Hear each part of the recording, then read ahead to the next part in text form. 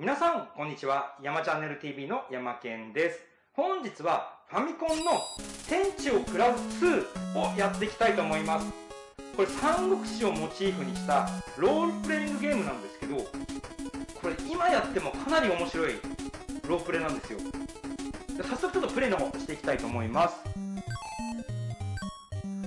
はい、まず名前、名前かなこれ。山。山、かきくけ、縦なんだね。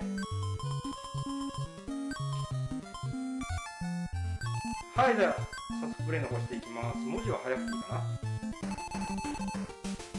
地、極まれば、乱を生じ、乱、ひまるとき、地に入る。ねなんか知的な言葉なんでしょうけど。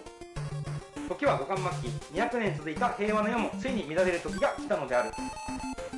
大権領主聴覚の率いる黄金族が各地で反乱を起こし人々の苦しみ声が世に満ち溢れたが時の五冠王朝には黄金族の反乱を鎮めることはできなかった、まあ、黄金族っていう軍団が暴れ出したけど要は国ではもう解決できないと。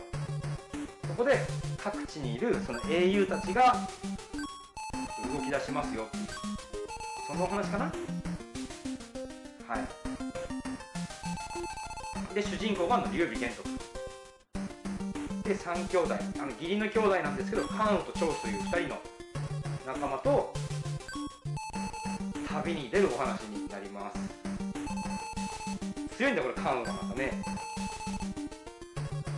はい、まあ、戦ってその聴覚を討ち取ったと。黄金族は滅ぼしたものの乱世が終わったわけではなかった。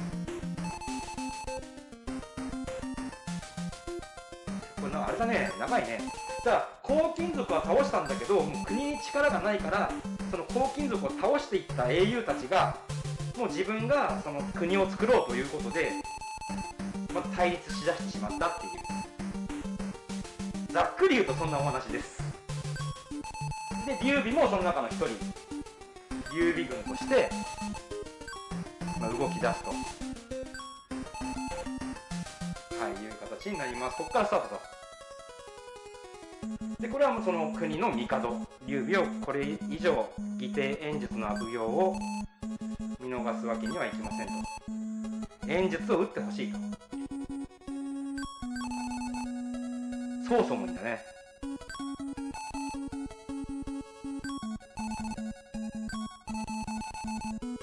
シュレイとロシュの2人を連れて連れてく連ていくかって聞いといてそりゃないよね。ねえ。まあまあ仲間を貸してくれました。配下武将を貸してくれたっていうのかな。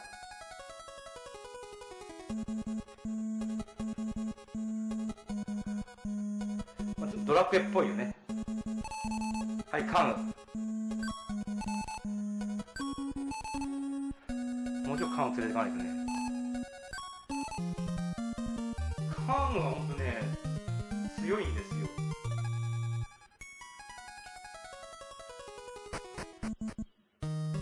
今日は長飛もどっかいいんじゃない？あいたいたいたいた。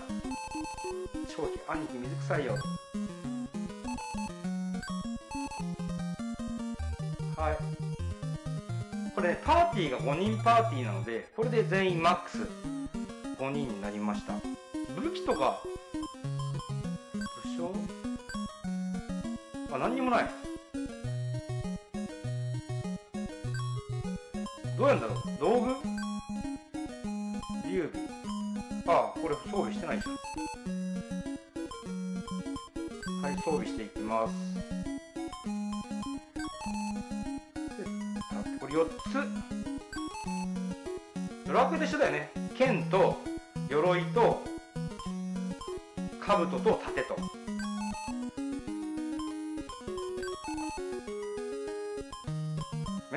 最初から装備しててくれればいいのに。シュレイとロシューって誰だろう？三国志詳しい人だったらわかるのかな？曹操配下ち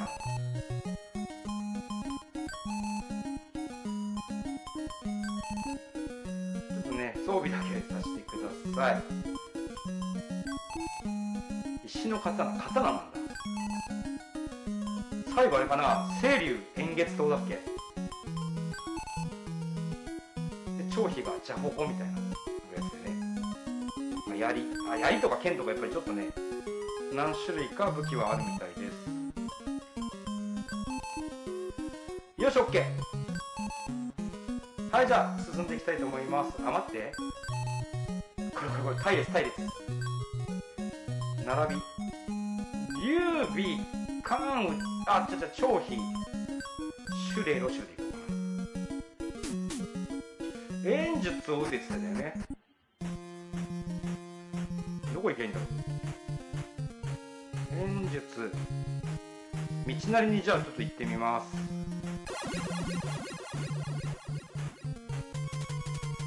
盗賊には負けないとこれ。あの武将の名前の下が兵士数かな？自分の兵士数になるんですけどこれが減っていくと攻撃力がどんどんどんどん減っていっちゃいます。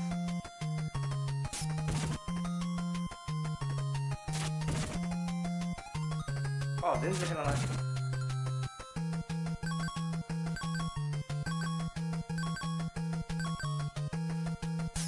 シュレーとロシューはあの兵士数が多いんだね。あんまり攻撃力はないんだ。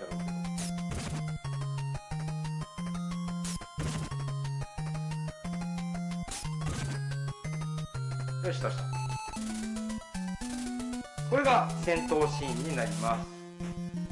行こう、演術のとこ。なんかいる綺麗あー、これ敵の将軍じゃない？小野で劉備軍名。チョコ材な。あ、もう話しかけなきゃよかったじゃん、じゃあ。話しかけなきゃよかったよ。策略もあんのあ、ないんだ。あ、軍師。軍師は関羽かなこの中だったらとりあえず綺麗に総攻撃を。あ強い。6568倒せないんじゃない？でももう綺麗25しかいないんで多分攻撃されてもそんなにダメージは食らわないので。2人を。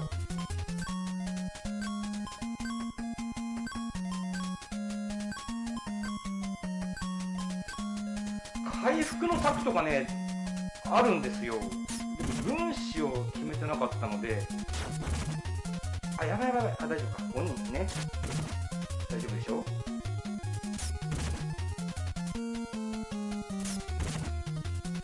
よし倒した。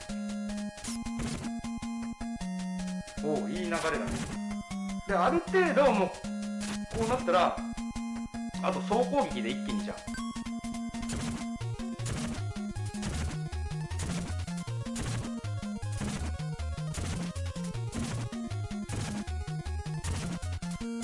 これでもうあと一人と軍だ張飛がね関羽もか兵士数が少ないので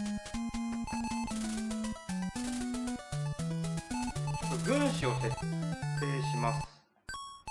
これ回復すんのかな？あ今覚えたのかな？どうせ武将かな？軍師策略かな？どうすんだこれ？こうだ軍師。これ武将ちょっと待ってね。武将って力200どっちが頭いいんだろうカウントじゃあ180だ劉備軍師になんのかなこれ。隊列軍師劉備。あできた。君主兼軍師みたいなね。体力回復してんのかな。まあいっか。雑魚戦かな？あ回復してなかった。じゃあ総攻撃あ軍師になると一番下行っちゃうんだねきっとね。上のがダメージ食らうのかな？そしたらシュレイとかをあれ兵力いっぱいあるからあの人たち上に上げて関羽張飛を下に下げた方がいいのかな？多分そうだよね。ほら上の方結構ダメージ食らうから。体力変えよう。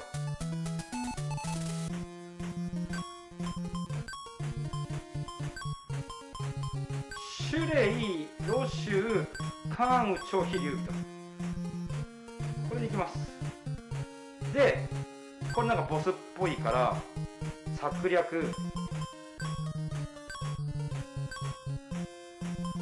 これ回復でしょ。策略カンウと超飛を回復すると。これ離さないでいった方がいいよね。いけちゃうんだね離さないでね。離す位置をエインエンイン戦った方があれかなレベルが上がるみたいなことかな。理法診断兵士兵士と。とりあえずこのエインから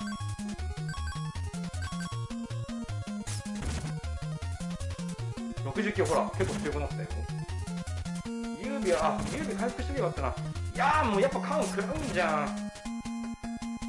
149 112 50まで落としとけば。ああいつ術使うんだ。ドラクエでいうとこのなんか多分メラとかギラみたいなもんでね。やっぱ倒しとかないと危ないから。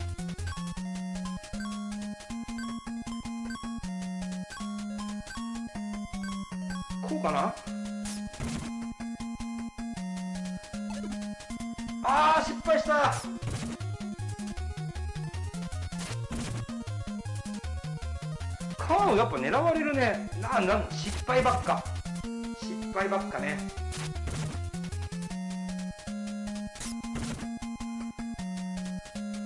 そう攻撃しちゃおうか。長くなるから。攻撃しちゃいます。あカーン大丈夫かな。いいや。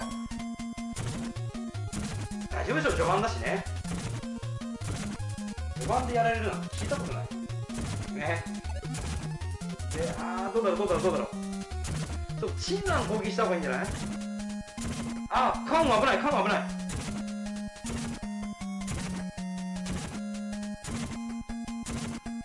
おおこの兵士だけなんか綺麗に。よし倒した。ほらレベル上がったよ。カンが危ない。カンと劉備が危ない。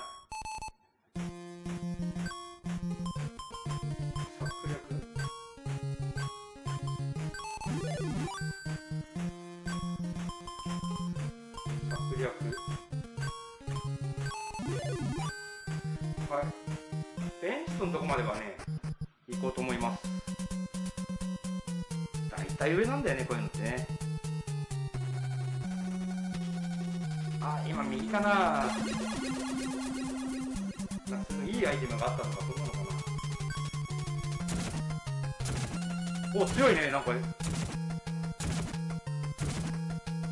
誰だ強いの？劉備かな。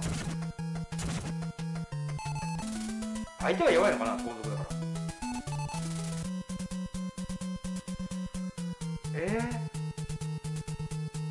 あ、だから、あ、宝箱。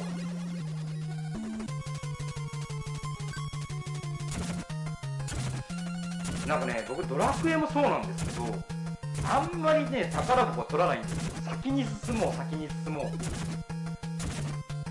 だから人によって結構あの、すんなり、ね、あの攻略本とか今あるわけじゃないので、すんなり先に進んじゃった時にわざわざ戻って宝箱全回収する人なんかも、ね、いらっしゃると思うんですけど僕もたまたまこうやって出てくりゃ取りますけどおすげえじゃん革の鎧。道具。これはさカンが持ったんじゃない？カン。でカンが代わ和の鎧を装備。お防御力上がった。でもあの左のは面倒くさいから取らないと。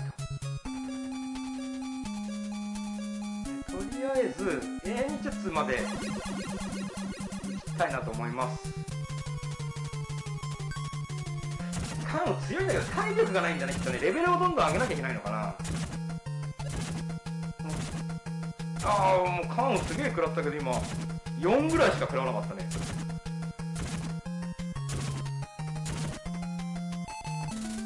最後90一気に倒した。雑魚敵いっぱい倒してもあんまりレベル上がんないのかな？ね。ああここ宝箱だけだ。わじゃあ逃げる逃げる逃げる。退却。相手が気づいていないと。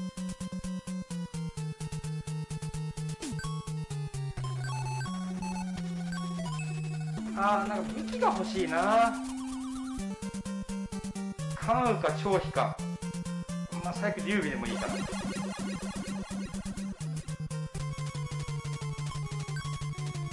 だから関羽はやっぱり172しかいないからもう一回どっかで回復した方がいいのかな。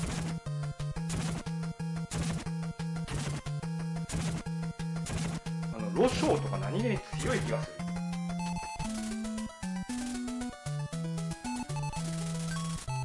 おレベル上がったよ。290336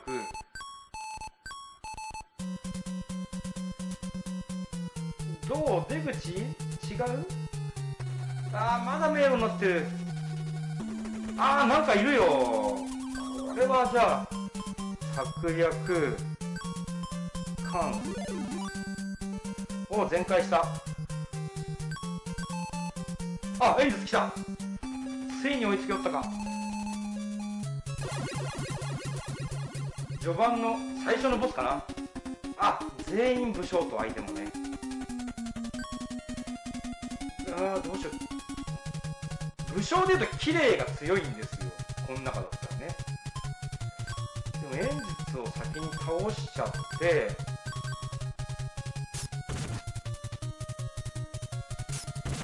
お結構強いねやっぱね。覚えたよね。あ食らっちゃった。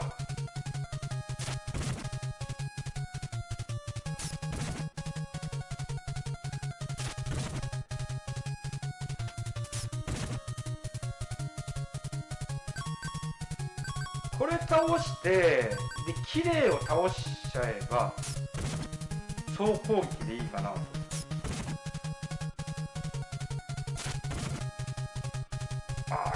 強いな。下4人はあれ向こうノーダメージだからね。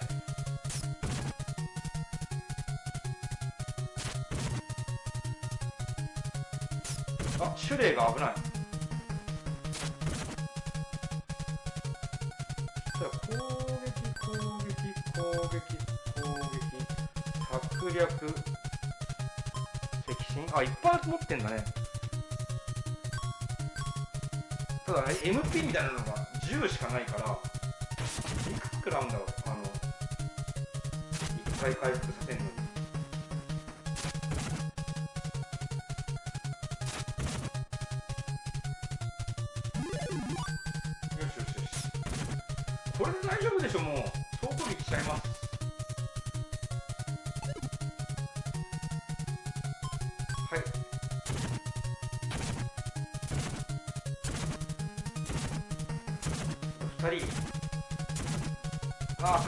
またちょっとね本当は回復させたいけどよ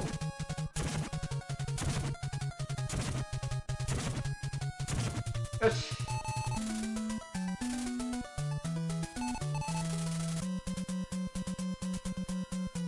これで？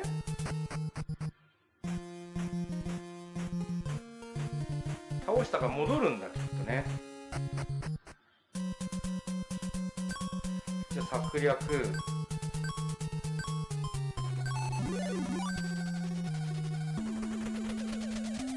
帝のところに。戻ろうと思います。これで1個イベントクリアと。もう負けないでしょ盗賊なんかに。あ長期もなんか300いくつとかになってたから回復させとけば攻撃力がすごい上がるのかなと思います。策略。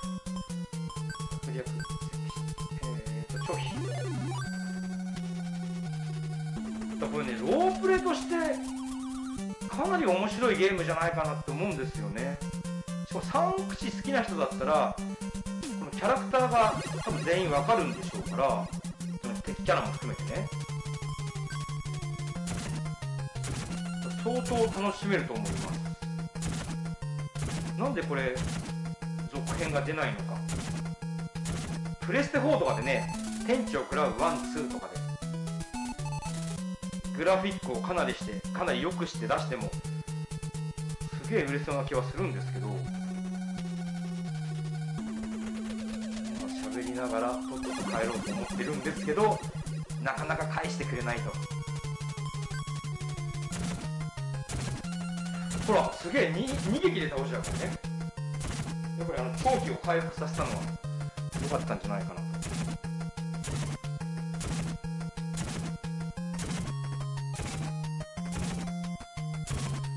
出なくなるなんかないのかな？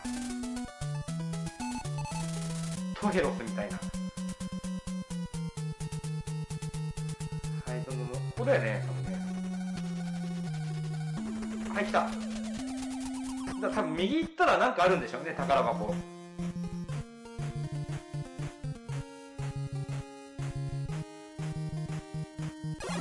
いいねなんか見慣れた風景というかね。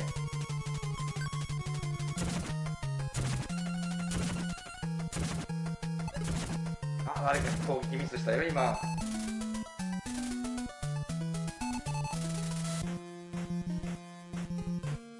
この辺なんか村があってね宿屋みたいなあればおワニいる対決してみようか。おできた。あれどうだっけ？下から来たっけ？こんな敵出たっけ？さっき。退却よし。この辺じゃなかったかな？この上か。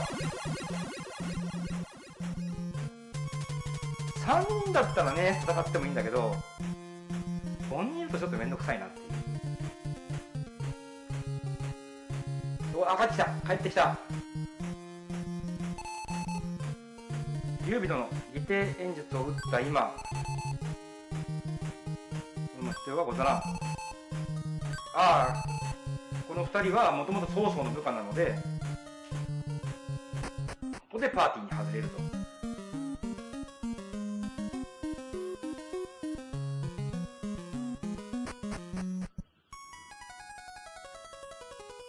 と。はいじゃあ報告に。あもう報告したのかな？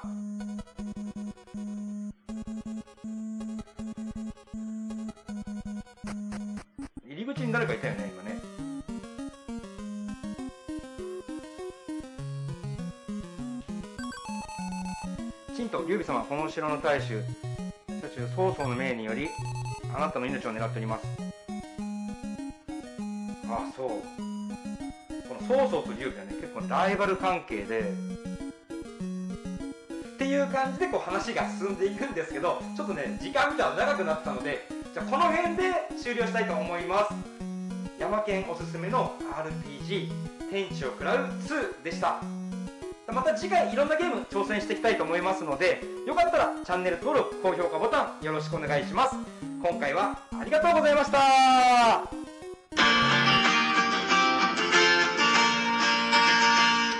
真っ赤なほっぺの君は僕の憧れ。ロマンティックな笑顔がとても素敵さ。山チャンネルでも見よう。僕と二人で。今も昔も君は永遠の天使さチャンネル登録よろしくお願いします。